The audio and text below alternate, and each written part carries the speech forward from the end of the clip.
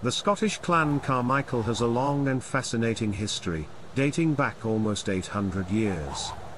The Carmichael family were originally part of the Douglasdale territory, which was granted to the Douglas family by Robert the Bruce in 1321. Over the years, members of the Carmichael family played significant roles in Scottish history, including in battles against the English and in various high offices of state. One of the most famous members of the Carmichael family, is Sir John de Carmichael of Meadowflat, later of Carmichael, who fought in France with the Scottish army sent to aid the French in their resistance against an English invasion. Sir John famously unhorsed the English commander and broke his own spear in the action, causing the demoralized English to flee the field. To commemorate this deed, Carmichaels bear the broken spear as their crest. The family's fortunes rose and fell over the centuries, with some members supporting the royalist cause while others sided with Parliament.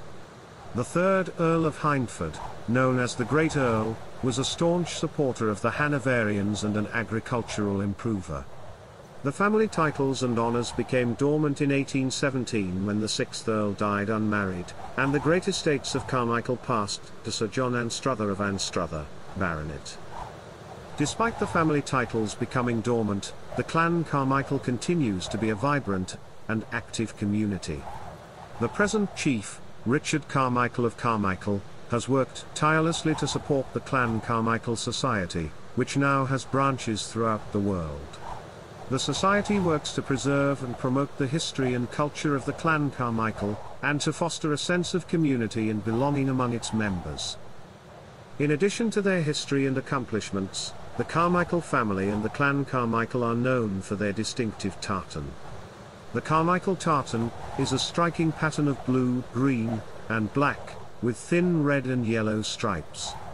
This tartan is often worn by members of the clan Carmichael, and is a symbol of their heritage and identity. Overall, the history of the Scottish clan Carmichael is a rich and fascinating one.